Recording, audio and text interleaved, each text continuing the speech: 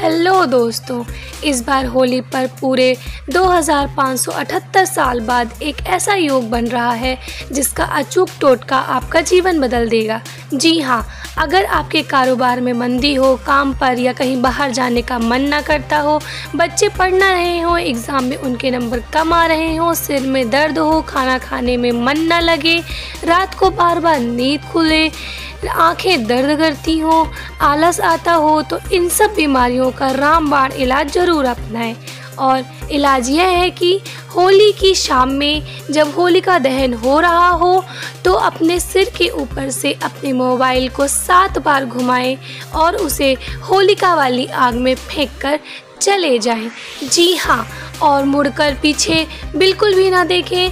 एक दो दिन परेशानी होगी, जी मिचलाएगा, गुस्सा आएगा, लेकिन सारी बीमारियों से मुक्ति मिल जाएगी। आजमा कर ज़रूर देखें और हमारे चैनल को सब्सक्राइब कर दें।